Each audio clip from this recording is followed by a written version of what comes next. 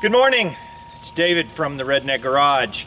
And today is a little bit of a sad day because I believe I'm going to probably have to discontinue the old YouTube channel because I'm starting a new business. Um, the locksmith business has been good, but in an effort to expand, I've decided to open a new business called Doctor Zone.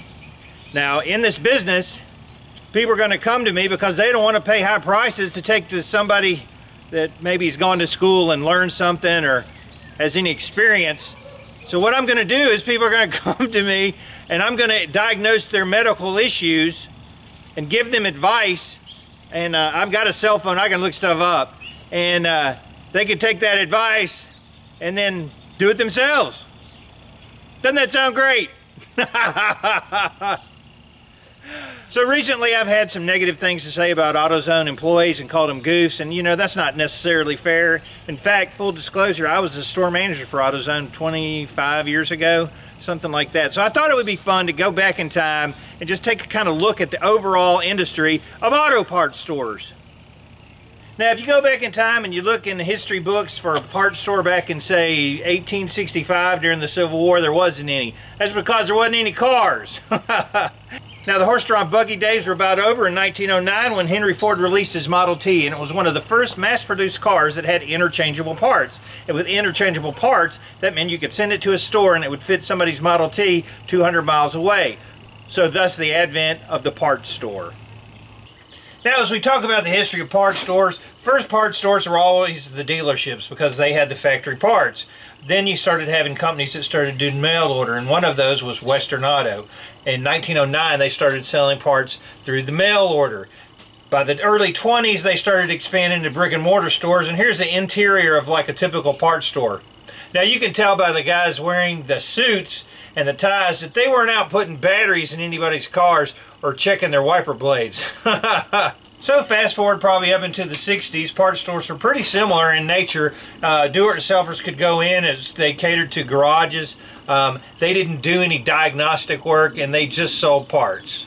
Now, funny story, when I was a kid back in probably 1972 or 3, we went into this Western Auto store right here in Nashville, Tennessee. My dad had a 68 Chevy pickup truck and I was about seven years old. Now my dad couldn't screw in a light bulb. So I watched my dad change the plugs on this 68 Chevy pickup truck. Even then I was a little bit mechanical and I watched him do it and I could tell that they weren't exactly right. They weren't like he took them off. He got two wires mixed up. Well, I said, Daddy, those aren't right. Well, he got mad and he said, shut up and be quiet truck didn't run worth a dang. It was jumping and bucking, and so we drove it down to the Western Auto store, and he, they pulled it into the bay in the back, and they get the guy, the mechanic, started looking at it. he said, "I see what your problem is." He said, uh, "You got two of these wires mixed up." And my dad glanced over at me as if to say, "Don't say a dang thing." And I said, "I told you that, Daddy." And then he took me out and spanked me because my dad was a jerk. Anyway, Western Auto started their big decline. They were bought out by Sears. Um, they were pretty divested. A lot of the stuff they sold wasn't car parts.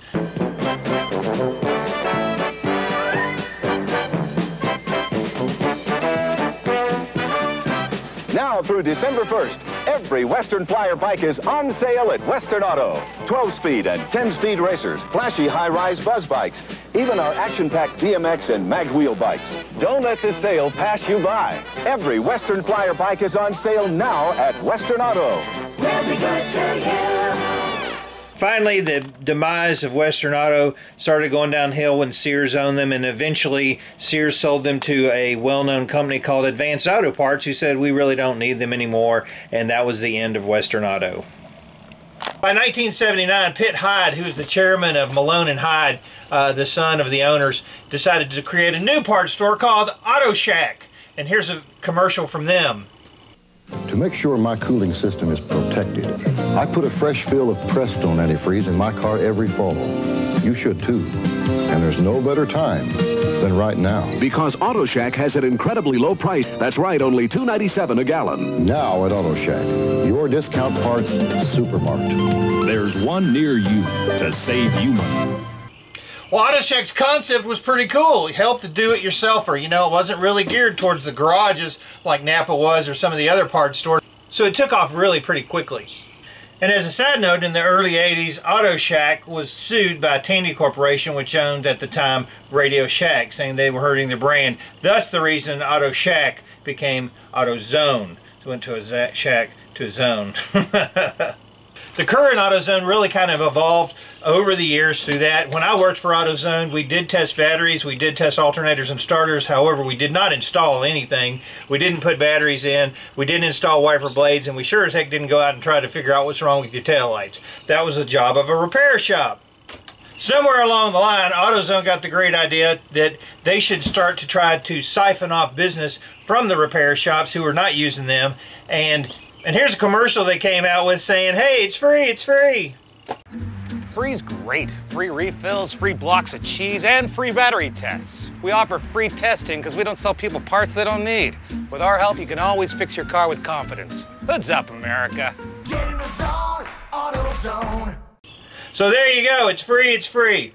Now in all my videos that I say AutoZone Goose, you know what, I have to really say this. There's a lot of blame to go around why I would say that they're goose the first issue that I would take would be the corporation of AutoZone itself by saying, oh, we're going to test this and test that and run it, diagnostic codes and things like that. It's really the job of a repair shop. If you don't know what you're doing, then you shouldn't be out working on cars like their employees do in the parking lot. Secondly, their employees, the ones that go out there that don't know what they're doing, shouldn't say, tell customers, hey, here's what's wrong with your car if they don't really know.